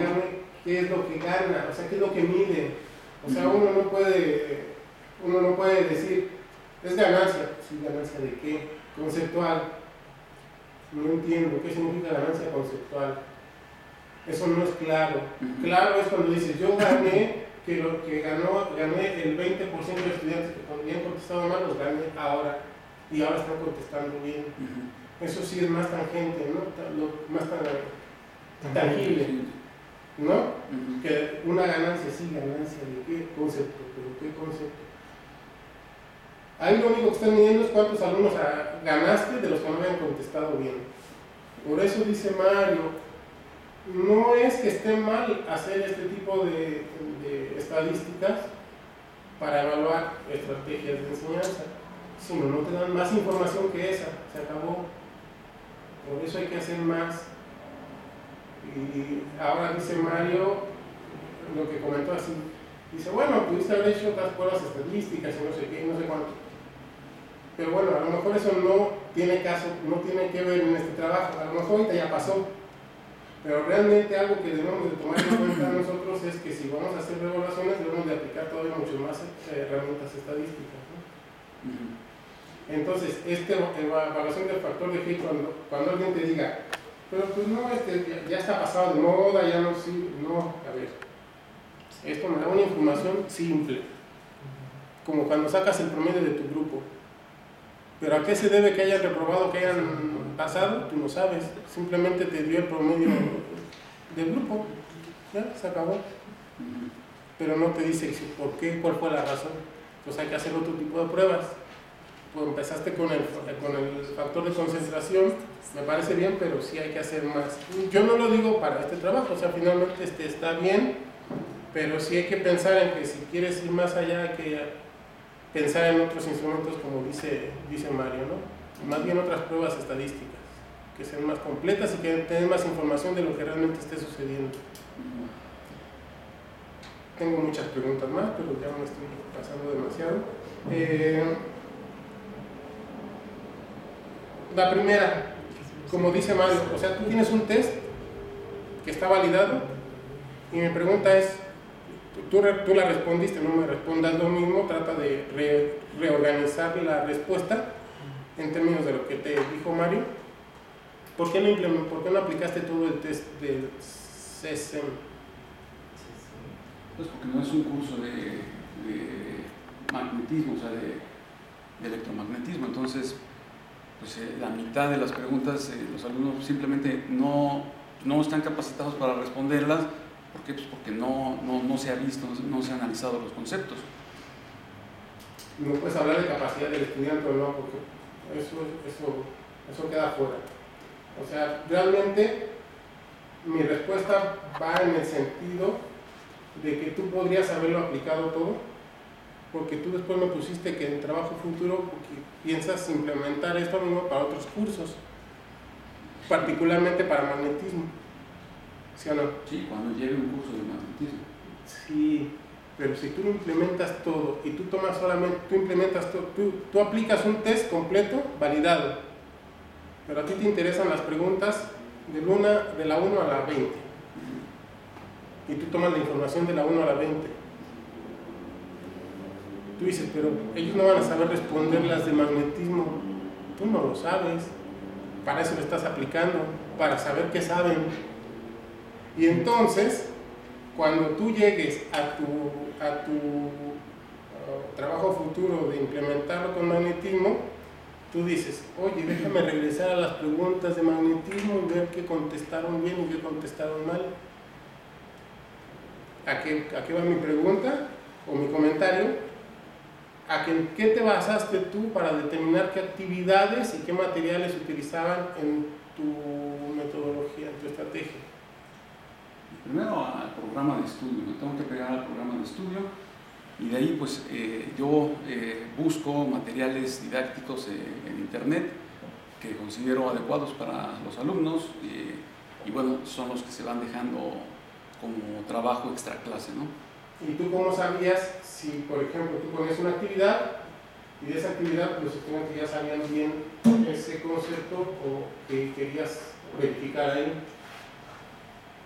No, pues, o sea, simplemente la, la experiencia, eh, va metido todo, ¿no? La experiencia que tiene uno como docente te va guiando y te va diciendo eh, qué consideras apropiado eh, sugerirles como un material de estudio antes de que lleguen a clase. O simplemente tú en la clase quieres hacer una pregunta detonadora. Bueno, pero quieres que ya lleguen con cierta información de algo. Pues entonces, pues uno los va guiando. O sea, eso es lo que es uno. O sea, uno eh, les va mostrando un camino. Obviamente, ¿con qué? Eh, pues con la experiencia que uno, que uno tiene, ¿no? Sí. Pero realmente muchas de estas estrategias se basan el diseño de estas estrategias se basa en lo que el profesor piensa, más no en lo que los estudiantes saben. Y todo este tipo de estrategias didácticas deberían de basarse incluso en lo que los estudiantes tienen o, saben previo a la, a la, implementación.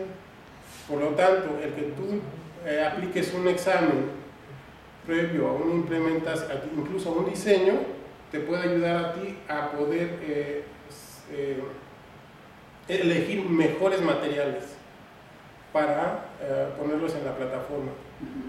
O sea, realmente lo que te quiero decir es que si tú piensas volver a hacerlo como, como propones en tu trabajo futuro, yo te sugiero que todos los materiales que utilices y todas la, las actividades que vas dejando previas, las hagas en base a un examen previo que hagas para determinar qué conocimientos tienen los estudiantes, en qué fallan más, a lo mejor saben bien algún tema y dicen no me entretengo aquí y mejor cargo un poquito de materiales hacia el lado que se ve que están perdidos completamente.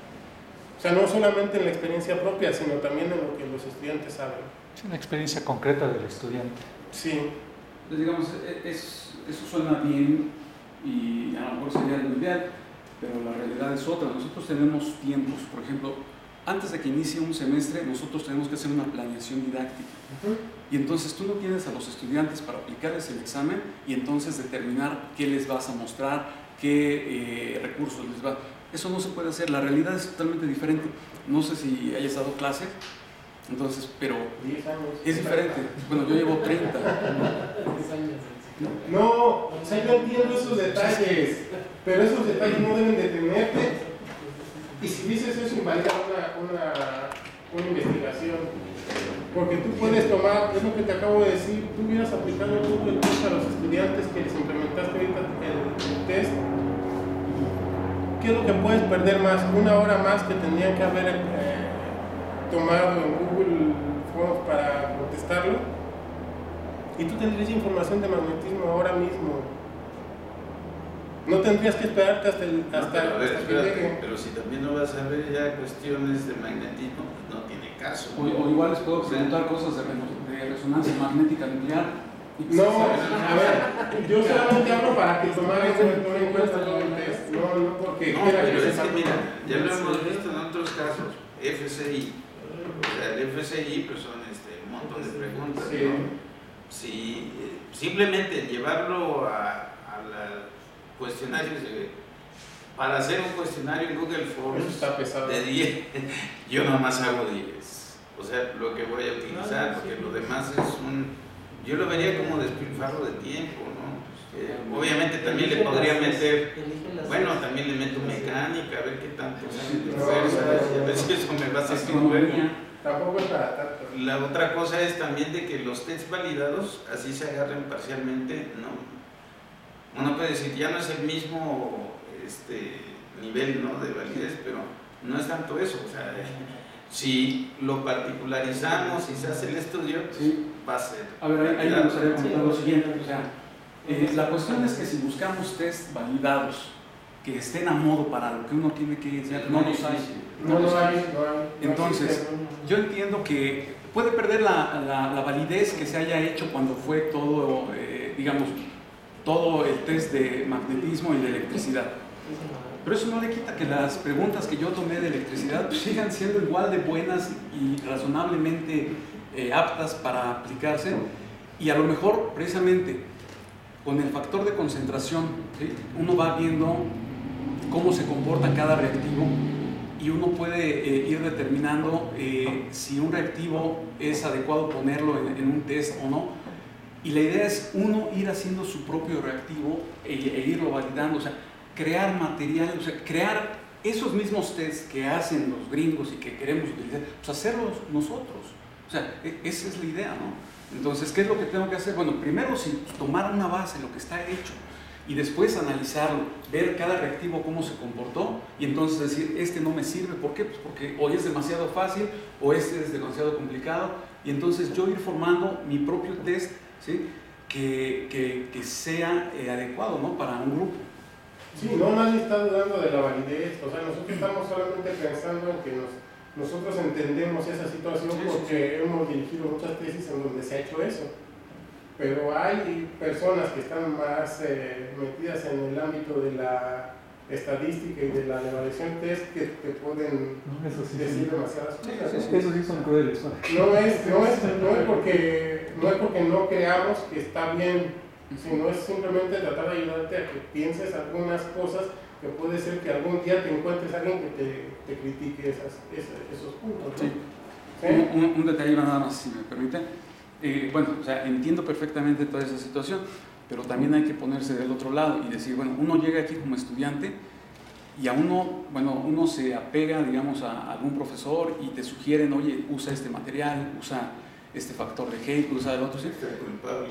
Eh, no, lo- lo- los, direct- los directores, pues a, a final de cuentas, eh, son los que nos dirigen. Sí, ¿sí? claro, claro. sí. Y entonces eh, no se le puede pedir a un estudiante que, que se sepa a lo mejor otros factores o si pues, uno va empezando en esto, ¿no? O sea, entonces uno se apega a lo que su director, en este caso también el doctor Mora, pues, nos, nos sugiere, nos dice, ¿no? Entonces, No, no, es que no estamos diciendo que estén mal. Son únicamente O sea, comentarios para. no, Es parte formativa Sí, también esto, ¿no? porque incluso yo dirigí tesis que han mencionado factor de Hale y factor de concentración, o sea, no es, no es criticar lo que se hizo, sino que si tú piensas así más adelante, ujú, pienses en otras cosas que vayan más allá de esto, Ujú. como dice Mario. A lo mejor él, él- él está más siempre metido en la parte cualitativa que en la cuantitativa, y está bien, se pueden hacer incluso estudios eh, con las dos modalidades, ¿no? Entonces sí me parece muy bien el trabajo, pero hay que pensar más allá en caso de que continúes con... Sí, porque se dan ramificaciones, ¿no? Por ejemplo, de estos materiales tú comentabas que algunos los motivan a los estudiantes. Bueno, pues es toda una rama de investigación lo que es la motivación y que también tiene su parte estadística, cómo se mide. No quiere decir que, que esté mal que no lo hayas hecho, Ujú. pero pues sí es algo que podrías considerar más adelante y que pues, tú explotarías toda esa línea de, de trabajo sobre, el, sobre la propia aula invertida, que no se han hecho hasta donde yo haya visto, por ejemplo, estudios muy formales de la parte de motivación, de creación de materiales, o sea, es todo todo un campo de, de trabajo que tú puedes explotar. No hay mucho, tú mismo lo acabas de, de ver, ¿no? Es nada más, supongo que sugerencias, comentarios, no es demeritar el trabajo, yo creo que está... Y otra pregunta, bueno, dos finales. La primera es, eh, encontraste materiales en español Ujú. pero seguramente hay más en inglés, ¿no? Sí, muchos más. Y no hay forma de que pudieras o hubieras podido retomar algunos en inglés. Los de, los de españoles tienen buena calidad comparada con los de los gringos o bueno, de otros países. Se retomó también, o sea, por ahí hay alguna referencia, o sea, como- efectivamente en la presentación pues, no, no vienen todas las referencias, pero pues tuvieron el documento, lo leyeron y pues, hay muchas referencias que también están en español, ¿no? Y la, la, la final. em,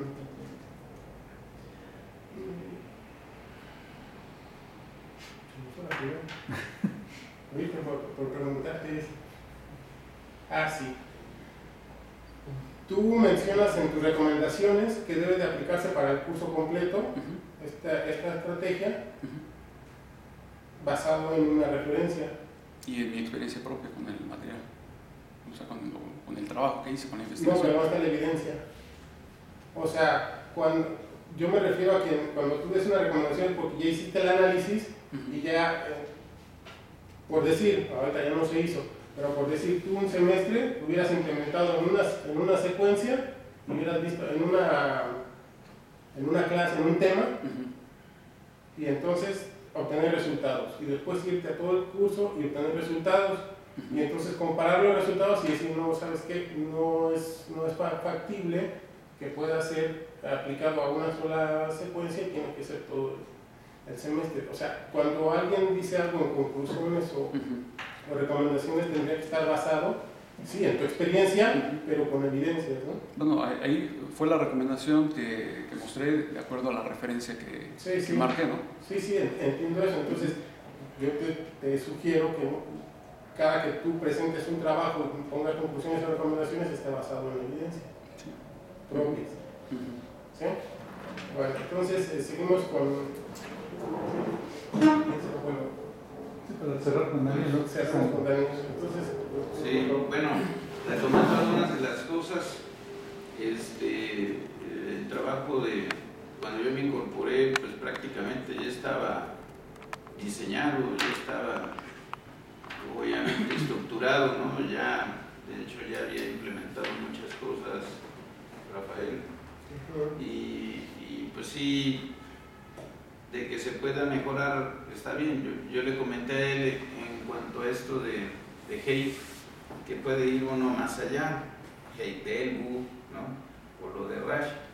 De hecho, pues hay, no es de que llegue a ser obsoleto hate, ¿no? O sea, pues eso, no, no va a ser, porque al ser un estudio estadístico depende si, por ejemplo, no puedes decir, no, pues es que el promedio es obsoleto, o sea, pues sería una bobería decir eso, ¿no? Tampoco en este caso hate. Hay obviamente estudios estadísticos más completos, como lo que te mencionaba de la teoría de Rash, que ahí es amplísimo. O sea, Rash lo que hizo fue proponer un modelo y después ese modelo los matemáticos y diferentes expertos en áreas desde economía, desde, por ejemplo, marketing, educación, psicología, lo han tomado y se ha ido utilizando. ¿Por qué razón? Porque aquí sí Rash lo que te ayuda a medir son rasgos. Y en el caso de Hay, o sea, es general, o sea, no, no te va a decir, bueno, eh, este alumno y aquel otro sí aprendieron más sobre esto, no, no.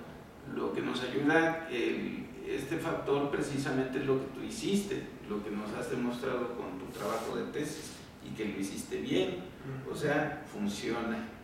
O sea, a final de cuentas, la metodología, esto de, de Flipped Classroom o de aula invertida, funciona en este ámbito, en este, eh, digamos, este, en esta población específica de México, en este nivel socioeconómico, etcétera, porque todo ese tipo de cosas afectan, ¿no? Eh, las características de tu muestra funciona, si funciona, ¿cómo lo demuestras? Con el resultado de Hay. Ahora, si queremos ver ahí ya un estudio más detallado de qué tanto aprendieron, por ejemplo, de ley de Ohm, o por ejemplo, de, de una pila, o de alguna cosa por el estilo, entonces sí tiene uno que irse a un estudio más detallado. Una opción viable que hemos estado ya estudiando y que estamos viendo con algunos alumnos, pues es este, este Rash. Ahora también la cuestión de esos límites y todo eso tiene mucho que ver con el modelo matemático. O sea, si uno ve las curvas de Fisher, si uno ve, por ejemplo, la T de Student, si uno ve este, incluso las, las este, todos los diagramas de Rash pues tienen cierta simetría, ¿no? Incluso el de, Rash pues es lo mismo, o sea, pues, por eso hay en 3 y 7, la cuestión de la normalización, el uso de las escalas, si, usas escala logarítmica, pues, claro que puedes tener también ganancias negativas y ese tipo de cosas, ¿no? O sea, hay que saber interpretar toda esa, esa teoría que obviamente pues un estudiante poco a poco va viendo, ¿no? dependiendo de las herramientas o de como tú dices, ¿no? como te va guiando este, un profesor, lo, lo, puede ahí mejorar. ¿no? En este caso, eh, lo que él está haciendo nos muestra una metodología que se implementó, lo hizo bien, lo hizo utilizando este, pues, sus recursos tecnológicos y bueno, aunque no se mostraron las, lo que fueron contenidos y eso que hay en el documento, pero a, final de cuentas funcionó, sí. Ahora, que es controvertido luego, por ejemplo, esa ganancia, cuando yo vi también esa, pues sí, luego, luego al menos es algo así como dices, a ver, este, porque cuando te sales de esos rangos de 3 y 7, o sea, es lo normal, pero cuando pasas el rango de 7, entonces ahí sí ya son las cuestiones que debes decir, a ver, me equivoqué o lo repito, pero en este caso es difícil porque tendría que ser otro semestre y ahí vienen las complicaciones, ¿no?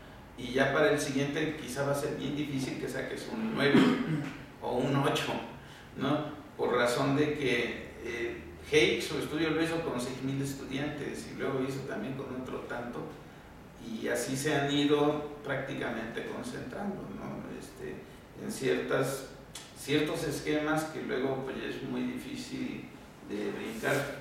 Obviamente, para tener más confiabilidad, porque alguien así que sea más experto en estadística te diría, no, yo no estoy ahí muy convencido en ese punto 9, ah, tenemos que repetir el experimento y habría que repetirlo y luego otra vez y otra vez, entonces, pero no podemos hacerlo aquí en educación, entonces por eso pues van otras cosas, ¿no? Se entiende aquí por la interpretación que diste de, y obviamente yo también lo vi así, por eso también no me alarmé de decir, estuvo mal. No, si no es el tema.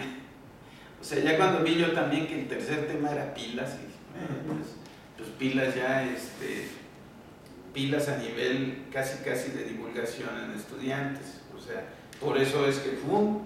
se dispara ahí y la gente pues está bien, ya no tienen que usar fórmulas, ya no tienen que calcular en un circuito o algo así, ¿no?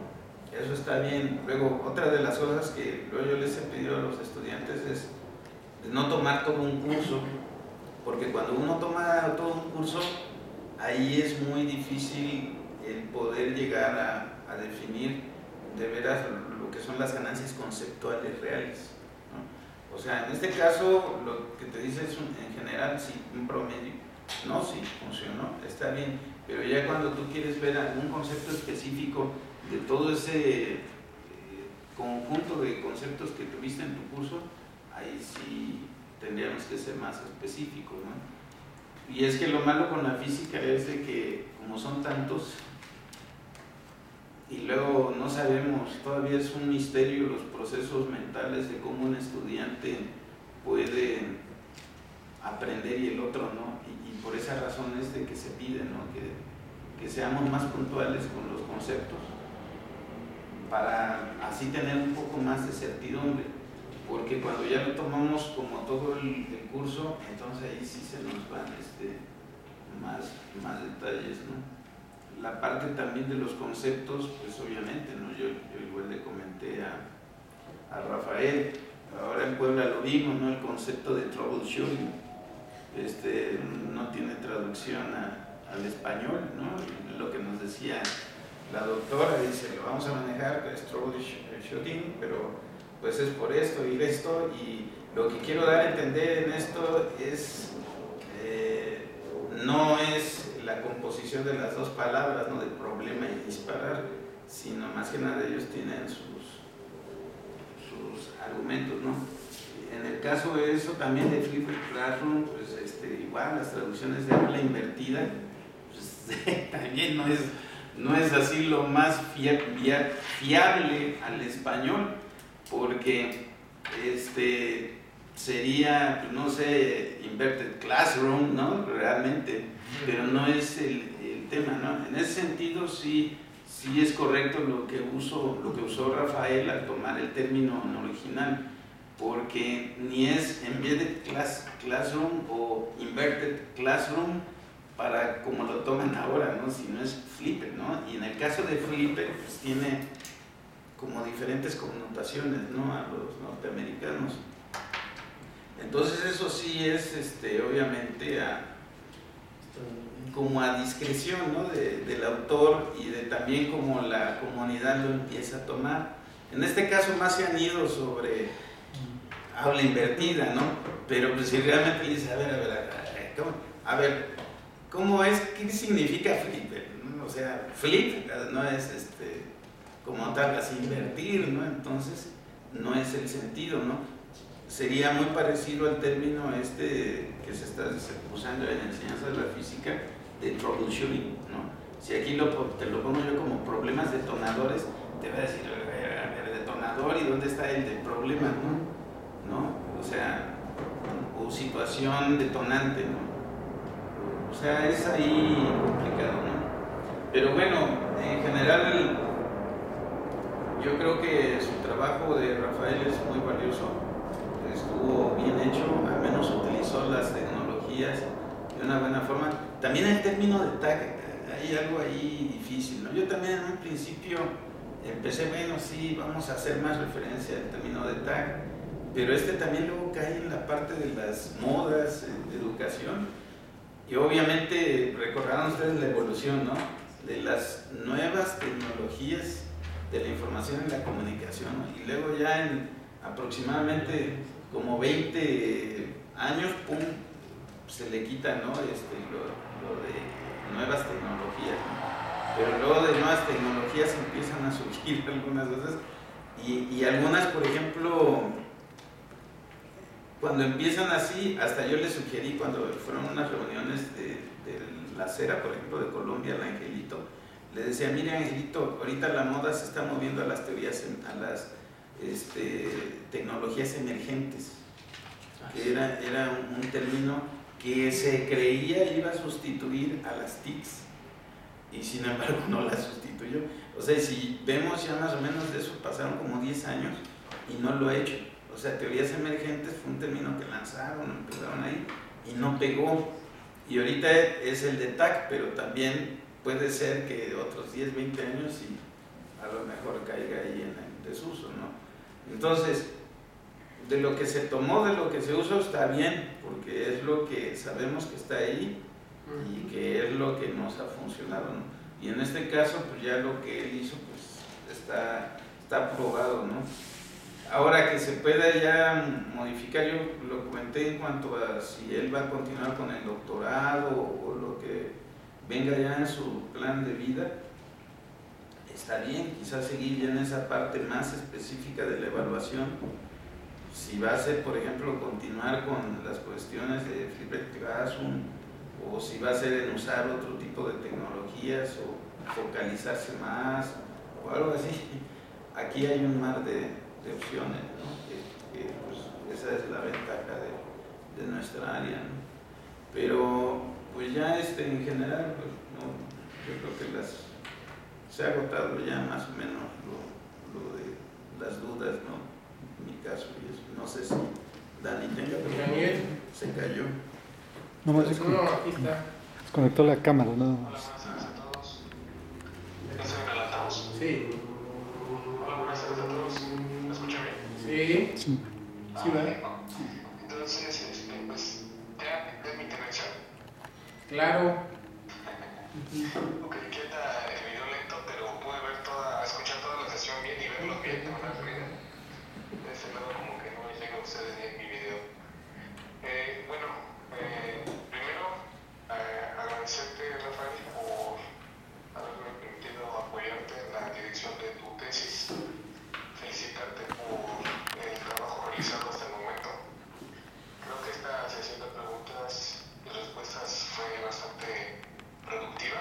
Todos tenemos diferentes puntos y creo que lo importante de las dinámicas de este tipo es pues, generar la interacción, que fue lo que se vio ahorita, la interacción entre todos los sinodales respecto a los puntos de vista que tenemos, eh, a las ideas, a los procesos, a las actividades. Creo que cuando un trabajo denota este, esta interacción entre los colegas, pues es valioso, es valioso porque pues todos tienen opiniones, si bien en algunos casos este, a lo mejor encontrarlas complementarias, ¿no? o sea, a- al final es eso, se complementan y dan una, una, una idea de progreso, porque al final lo que buscan los colegas eh, todos es aportar a la disciplina y que mejor aporte que las ideas, ¿no? Las ideas que nos están ayudando a nosotros para que identifiquemos cuestiones que pues, a veces no son evidentes para los que están dentro del mismo trabajo. No sé si Rafael es el, el primero de la generación en No. hacer el examen, No, ya no. Ya. ¿no? ¿Quién fue el primero? Eh, Rosario, ¿no? Sí, pero una de las profesoras de preescolar, ¿No sí. Las profesoras que vienen de nivel preescolar, de algunas de, de Mario, las hermanas de Teresa Franco. Ah, ok. Ah, de Tere Franco. Ah, perfecto. Muy bien, tenía la idea de que era Rafael, el primero de la generación. Pero bueno, de todas maneras, eh, te digo, Rafael, eh, felicidades. Creo que el trabajo, lo que buscaba eh, específicamente Rafael, era esto de llevar una, ya no dejar el enfoque de una sola secuencia didáctica, ¿no? Porque creo que los trabajos que se habían desarrollado, al menos hasta 2017, estaban muy concentrados en una secuencia didáctica.